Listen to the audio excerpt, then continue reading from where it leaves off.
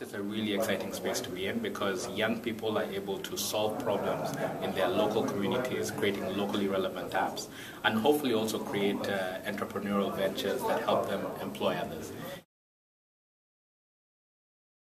In Kenya, for example, we have a 40% unemployment rate, and so we believe that mobile application development gives them an option to not just be employed, but to potentially be able to create a company and an innovative solution to help other Kenyans and fellow Africans.